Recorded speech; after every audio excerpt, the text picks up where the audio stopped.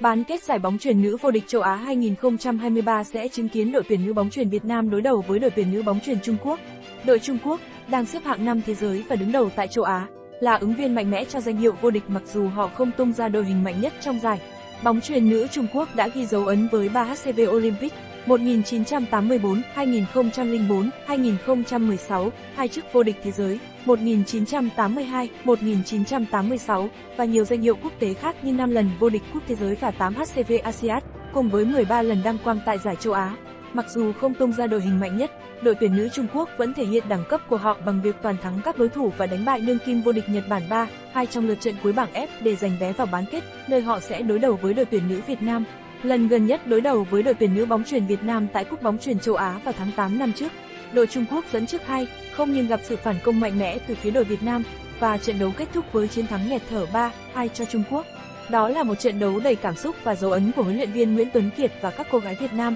mở ra hy vọng mới cho bóng chuyền nữ Việt Nam trong cuộc đối đầu với đối thủ mạnh Trung Quốc. Đội tuyển nữ bóng chuyền Việt Nam cũng không thua kém với những thành tích ấn tượng. Họ đã chứng minh sự tiến bộ của mình trong thời gian gần đây và đứng đầu bảng B với chiến thắng ấn tượng 3-1 trước đội tuyển nữ Nhật Bản. Đây là một bước tiến quan trọng, cho thấy sự thăng tiến của bóng chuyền nữ Việt Nam trong khu vực và tạo nên sự kỳ vọng cho trận bán kết quyết đấu với đối thủ mạnh Trung Quốc. Bán kết giải bóng chuyền nữ châu Á 2023 hứa hẹn mang đến những trận cầu hấp dẫn và kịch tính khi các đội tuyển hàng đầu của châu Á cạnh tranh cho danh hiệu cao quý. Cả hai đội đều quyết tâm giành chiến thắng và tiến vào trận chung kết để hướng đến mục tiêu cao cả nhất tại giải đấu này.